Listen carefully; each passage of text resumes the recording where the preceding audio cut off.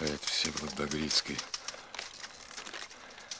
В декабре 41 года добровольцем ушел на фронт, погиб при выполнении задания. Нам не дано спокойно сгнить в могиле, лежать на вытяжку. И, приоткрыв гробы, мы слышим гром предутренней пальбы, призыв охрипшей полковой трубы с больших дорог, которыми ходили. Мы все уставы знаем наизусть, что гибель нам, мы даже смерти выше.